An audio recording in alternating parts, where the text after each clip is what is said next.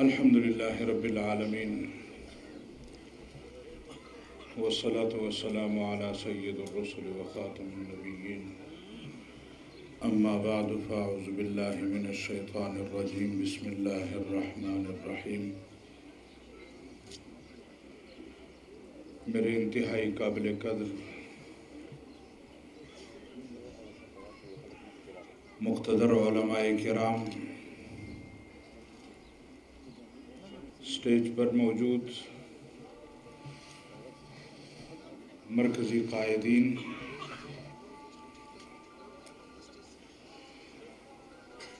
صوبائی ذمہ داران حضرات اضلاع سے آئے ہوئے جمعیت علماء اسلام کے ذمہ داران، حاضرین مجلس، میرے انتہائی قابل قدر محتممین حضرات، مدرسین حضرات، علماء کرام، میں جہاں آپ حضرات کا دل کی گہرائیوں سے ممنون و مشکور ہوں، وہاں اپنے آئے ہوئے معزز مہمانان گرامی کا بھی دل کی عطاہ گہرائیوں سے شکریہ ادا کرتا ہوں جنہوں نے ہمارے اس مجلس کو رونق بخشی ہے۔ میرے محترم ساتھیوں، مرکزی مجلس عاملہ کے اجلاس میں موجودہ صورتحال، مدارس کی پوزیشن، مدارس کے مسائل، اس پر گفتگو ہوئی تو ضرورت محسوس کی گئی کہ محتمین علماء کرام، مدارس سے وابستہ حضرات کا کوئی ایک بھرپور اجلاس کیا جائے۔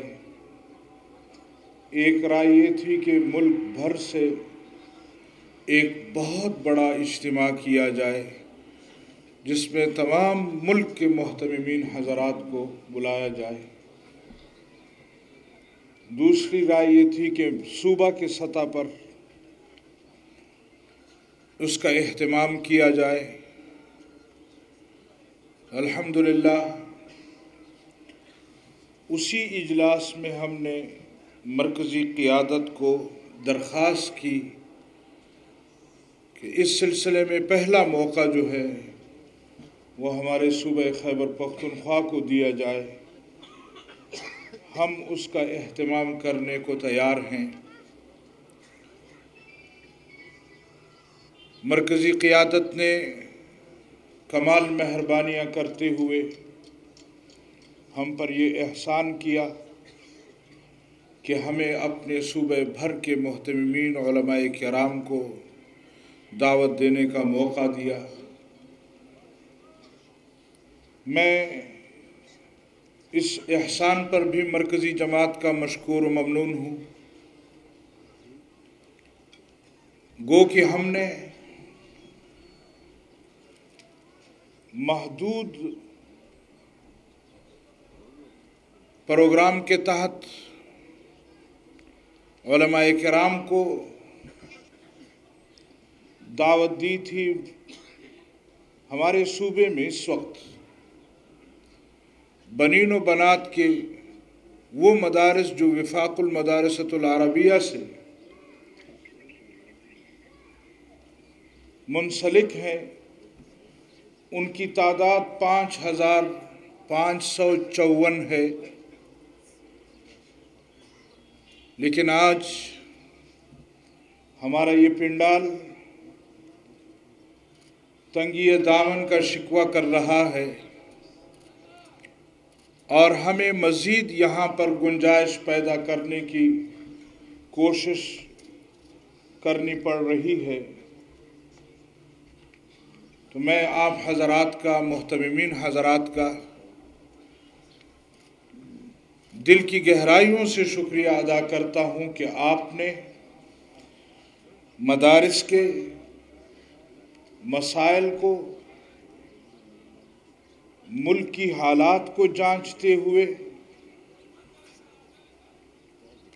جس اعتماد کے ساتھ جمعیت علماء اسلام کی دعوت کو قبول کیا ہے اور آپ یہاں تشریف لائے ہیں، مجھے یقین ہے کہ یہ بین الاقوامی قوتوں کے لیے بھی ملک میں موجود بین الاقوامی قوتوں کے ایجنڈوں کے لیے بھی ایک واضح پیغام ہے کہ صوبہ خیبر پختونخوا کہ علماء کرام محتمین حضرات، مدارس سے وابستہ ہر شخص اس کا جمعیت علماء اسلام پر اعتماد ہے اور ہم بالاتفاق مدارس کے متعلق آپ کے ایجنڈے کو جوتے کی نوک پر رکھتے ہیں، ہم اس کو قطعان قابل قبول کرنے کو تیار نہیں ہیں۔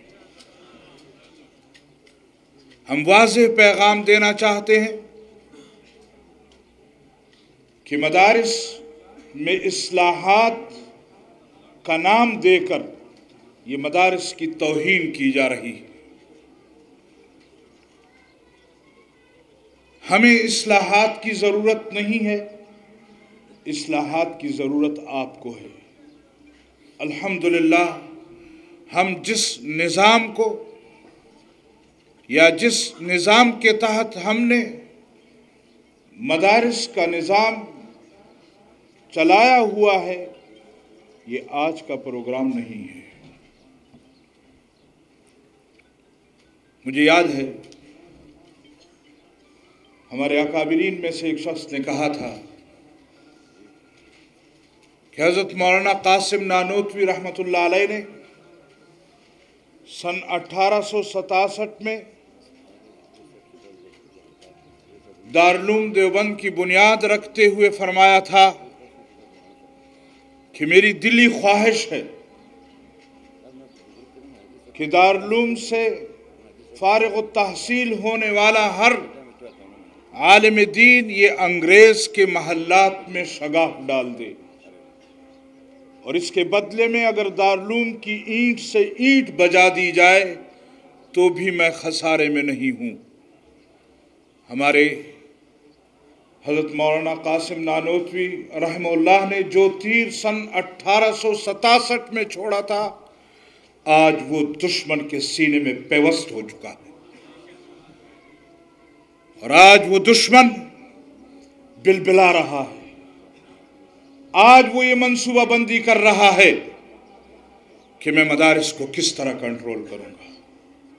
لیکن ہم اس کو بتلانا چاہتے ہیں کہ آج مدرسے سے وابستہ ایک ایک طالب العلم وہ امت مسلمہ کے لیے حضرت مولانا قاسم نانوتوی رحم اللہ کا کردار ادا کر رہا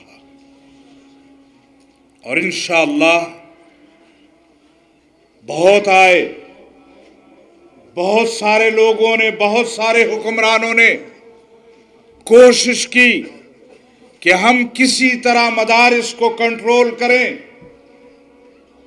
آج وہ لوگ، وہ حکمران، وہ جو اپنے آپ کو بڑا طاقتور کہتے تھے، آج زیر زمین چلے گئے ہیں۔ ان کا نام لینے والا کوئی نہیں ہے، لیکن مدارس آج بھی موجود۔ ہیں ہم موجودہ حکمرانوں کو بھی کہنا چاہتے ہیں کہ یہ مدارس ہوں گے، یہ کام کرتے رہیں گے، یہ امت مسلمہ کی رہنمائی کرتے رہیں گے اور آپ نہیں ہوں۔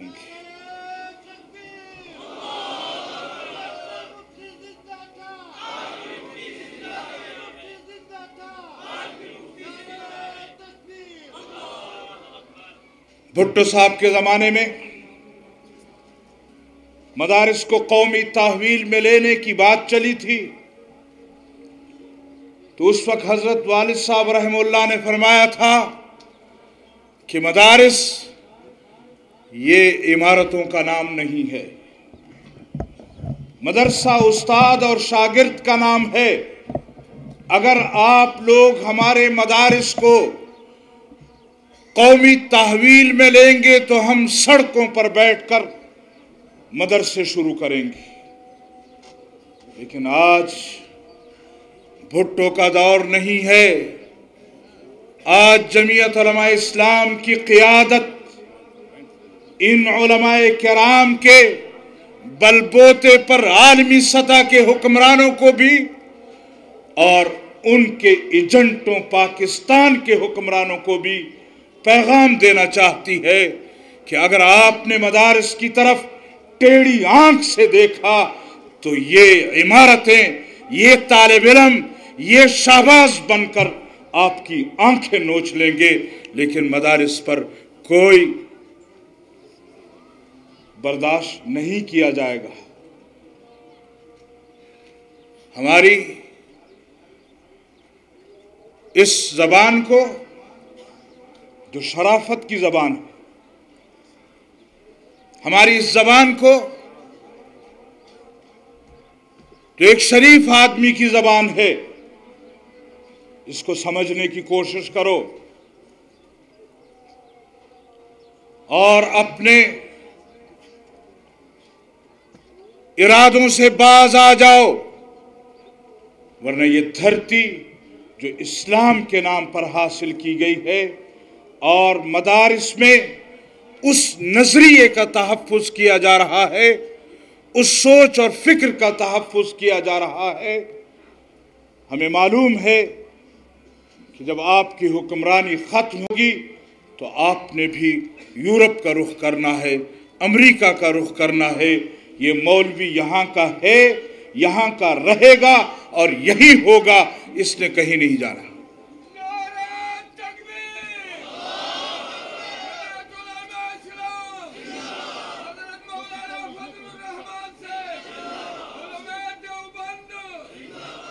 ان کو علم نہیں ہے۔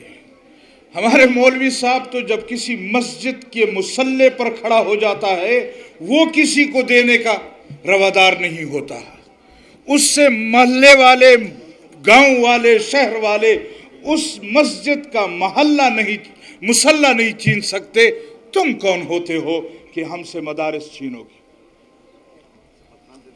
تو میرے محترم ساتھی، میں آپ حضرات کا جہاں مشکور ہوں، وہاں آج کمزور انتظامات کی وجہ سے اور یہاں آپ کے شایان شان، آپ کی وہ خدمت ہم نہیں کر سکے، اس پر آپ حضرات سے معذرت خواہ بھی ہوں۔